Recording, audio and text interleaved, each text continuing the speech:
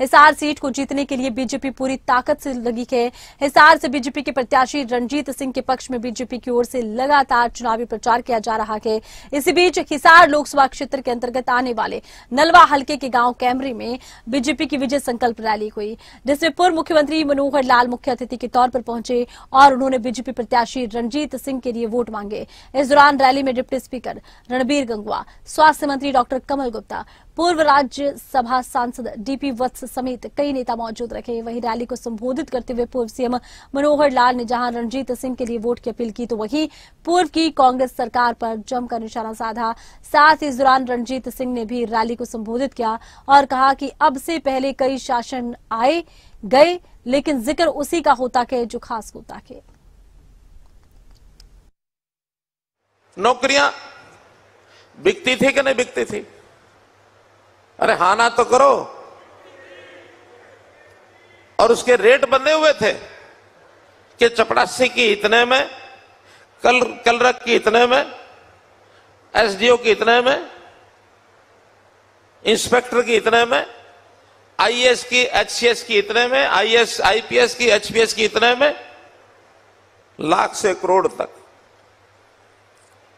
या तो हमें बाबू के किले बेचने पड़ते थे। बिकवाते थे बाबू किला बेच के अब नौकरी लूँगा। या माँ की टूम बिचवानी बिकवानी पड़ती थी। था कि नहीं मामला। और हमने आने के बाद साढ़े नौ साल में एक लाख बीस हज़ार नौकरी स्टाफ सिलेक्शन की और दस हज़ार से ज़्यादा नौकरी एचपीएस की। सवा लाख से ऊपर नौकरियाँ दी हैं।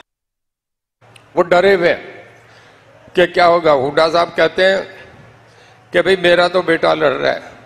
रणदीप सुरजेवाला और शैलजा भी चुनाव लड़े। हैं वो भी जानते हैं हुडा साहब क्यों कह रहे हैं उनकी हिम्मत नहीं हुडा साहब भी जा रहे हैं। मदद करने के थोड़े भी ये लड़े, ये चेताएँगे। हालात ऐसे हैं कि कोई पार्टी है ही नहीं।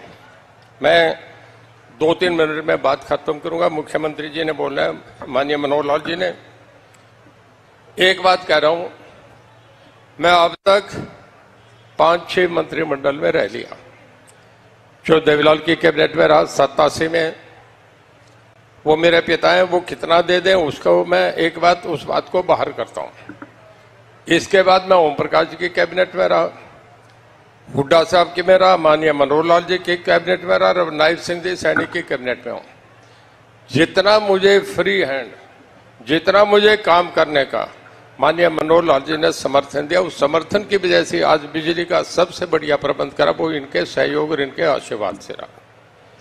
मैं बहुत बड़ी आदमी है।